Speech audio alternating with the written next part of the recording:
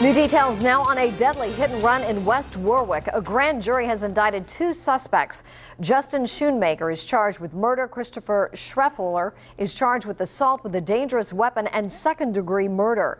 Schreffler is accused of hitting 56 year old Michael Parrish with a flashlight during an argument over a dirt bike last February. Investigators say Schoonmaker then ran the victim over with his SUV twice. Both men are scheduled to be arraigned next month.